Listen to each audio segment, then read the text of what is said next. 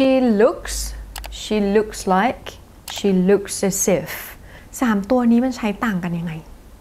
Hi there, this is Guy. Today I've got these three phrases for you. Actually, they are built into sentences. เราจะแต่งประโยคนะคะโดยขึ้นต้น 3 แบบนี้นะคะ แต่ว่าแต่ละแบบเนี่ยมันใช้ยังไงเนาะ ปกติคำว่า look แปลว่ามองดูใช่ไหม I'm looking at you แบบนี้ใช่ไหมคะ แต่ว่าจริงๆแล้วคำว่า look ในที่นี้เนี่ยแปลว่าดูเหมือน ดูแบบ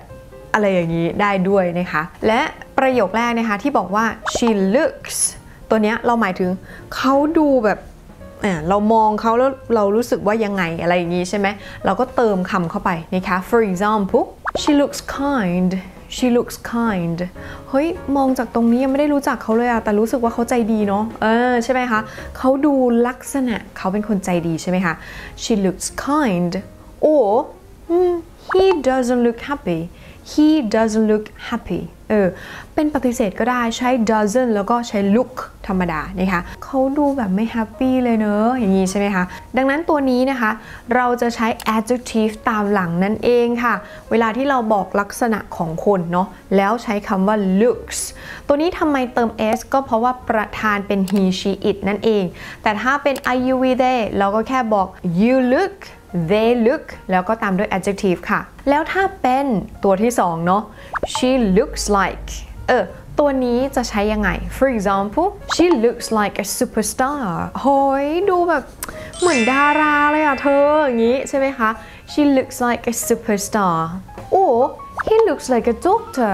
he looks like a doctor เฮ้ยดูเหมือนเป็นหมอเปล่าคนเนี้ย เออ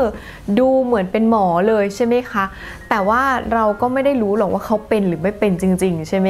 ตัวนี้หมายถึงเขาดูเหมือนอะไรใครนะคะ แต่ว่าสิ่งที่สังเกตได้คือคำที่ตามมาเป็นคำนามนั่นเองค่ะ a superstar a doctor ดังนั้นเมื่อไหร่ที่เราใช้ looks like เราสามารถใช้คำนามตามหลังนั่นเอง ต่อไปตัวสุดท้ายนะคะ she looks as if เออ ตัวนี้ใช้ยังไง for example she looks as if she's going to a wedding เออ เฮ้ย ดูเหมือนกับว่า ดูราวกับว่ากำลังจะไปงานแต่งงาน ใช่ไหมคะตัวนี้ wedding แปลว่างานแต่งงานนะคะจริงๆตัวนี้นะคะสามารถใช้แทนได้ใช้เป็น look like ก็ได้นะ ตัวนี้ก็จะแบบมีความเลือกคำศัพท์ให้มันไพเราะมากขึ้น เวลาที่เราพูดว่า as if นะคะแล้วยังใช้ as though ได้ด้วยนะคะถ้าใช้ as if as though นะคะ ก็จะต้องตามมาด้วย phrase นะคะ ก็คือประโยคนั่นเองด้านหลังเนาะ เช่นตรงนี้บอกว่า she's going to wedding เห็นไหม ตัวนี้ยาวเป็นประโยคเลยใช่ไหมคะ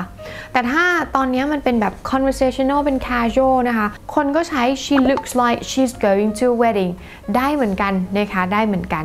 ดังนั้นตัวที่ 2 ที่ 3 เนี่ย อาจจะใช้คล้ายๆกันได้นะคะ แต่ถ้าคุณใช้ she looks as if a doctor ใช้คำนามมาตรงนี้ไม่ได้ แต่ถ้าเป็น she looks like นะคะสามารถใช้ a doctor เป็นคำนาม และใช้ประโยคตามหลังเหมือนกับใช้ as if ได้ค่ะ อะ ทบทวนอีกทีหนึ่งนะคะ she looks ตามด้วย adjective ค่ะ แล้วก็ she looks like ตามด้วยคำนาม หรือไม่ก็ประโยคคล้ายๆกับ as if แต่อันสุดท้าย she looks as if ต้องใช้ประโยคเท่านั้นนะคะ ดังนั้นเรามาทดสอบกันค่ะ ถ้ากี่ต้องการพูดประโยคนี้ เขาดูประหม่าแบบตื่นเต้นแบบโอ้ยจะพรีเซนต์อะรู้สึกแบบประหม่ากี่ต้องการใช้คำว่า nervous nervous he ขึ้นต้นค่ะ แล้วจากนั้นคุณจะตอบว่าอะไร อือหือ ไม่มี choice นะ เติมมาได้เลยนะคะ ถ้าบอกว่าเขาดูประหม่านะคะ he ตืดตืด ใช้คำว่า nervous เข้าไป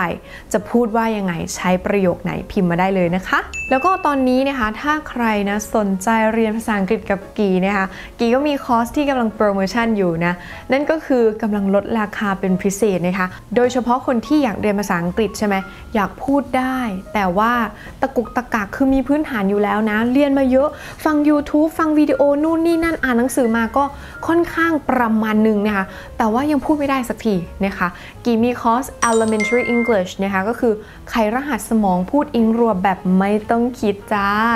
คอร์สนี้นะคะก็จะช่วยให้ทุกคนเนี่ยสามารถพูดภาษาอังกฤษโดยไม่ต้องคิดหรือว่าไม่ตะกุกตะกักนะคะ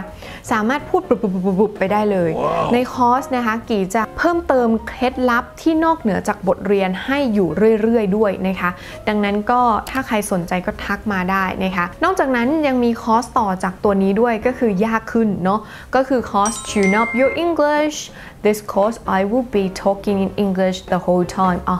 100%คอร์สนี้สำหรับคนที่มีพื้นฐานพอสมควร เพราะว่ากี้พูดภาษาอังกฤษทั้งคอร์สเลยนะคะ สอน grammar สอน vocab ด้วยภาษาอังกฤษทั้งหมดเลยนะคะ ถ้าใครอยากจะต่อยอดเนาะสำหรับคนที่ได้อยู่แล้ว แล้วรู้สึกว่าอยากเรียนเป็นภาษาอังกฤษ แล้วก็อยากเรียนแบบที่กี้สอนใช่ไหม